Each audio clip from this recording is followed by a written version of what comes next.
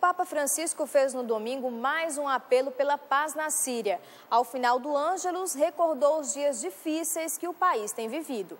Francisco contou que nos últimos dias seus pensamentos têm se voltado à Síria, onde a guerra intensificou. Recordou que o último mês foi um dos mais violentos em sete anos de conflito. Centenas de pessoas morreram, entre elas muitas crianças, mulheres e idosos.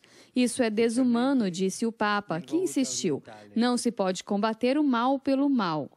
Dirijo meu forte apelo pelo fim imediato da violência e que seja dado acesso à ajuda humanitária. Ainda no Ângelos, na reflexão sobre o Evangelho de domingo, o Papa explicou que a transfiguração de Jesus é uma aparição pascal antecipada. Os discípulos estavam incomodados com o anúncio que Jesus tinha feito de seu sofrimento e morte na cruz. Todos esperavam um Messias poderoso, forte, dominador. Ao invés, Jesus se apresenta como humilde e manso, que deverá dar a sua vida em sacrifício, passando pelo caminho da perseguição, do sofrimento e da morte.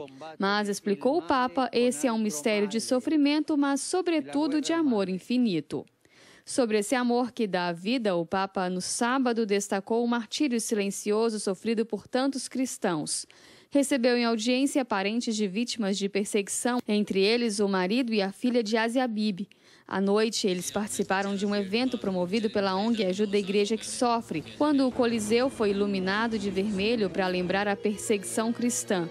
A filha de Asia Bibi contou que esteve o último mês com sua mãe, presa há nove anos e condenada à morte no Paquistão, e disse que ela mandou ao Papa um abraço. Contou ainda que Francisco disse rezar sempre por ela e que considera mártire dos tempos de hoje, exemplo para uma humanidade que tem medo de sofrer.